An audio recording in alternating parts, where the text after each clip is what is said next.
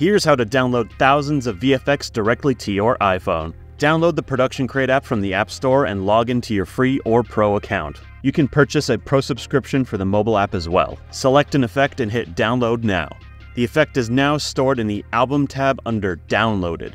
Find the effect you want to download and click the icon on the right. Here, you can remove effects, search for similar ones, or see details about the effect file. Tap where it says Download Effect to add it to your phone's photo library. Click OK to confirm the download. The effect should now be ready to use in your phone library. These VFX are MP4s and will require either a blend mode or a chroma key to remove the background.